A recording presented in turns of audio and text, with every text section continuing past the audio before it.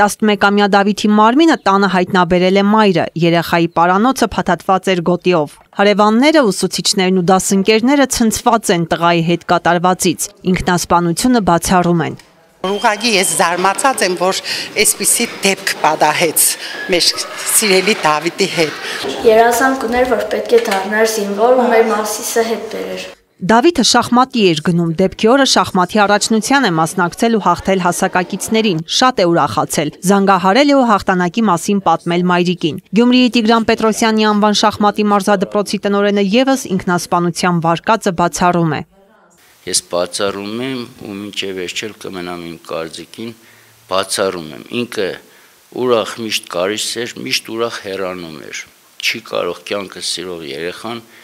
ինքը իր վրա ձեռք բարձրացնի։ Քնչական կոմիտեի տեղեկացմամբ նախնական տվյալներով նա ինքնասպանություն է գործել իրենց տնակում գոտիով բասկաթորի հետնամասում տեղադրված աթորակից կախվելու միջոցով։ Ըստ քնչական կոմիտեի նախաքննական մարմինն այս պահին քրեական գործով տեղեկատվության չի տիրապետում, ըստ որի երեխայի մահվան պատճառը հանդիսացել է ինչ որ խախ։ Ալա Բաղդասարյան, Խան Հովանիսյան, ժամը լրատվական։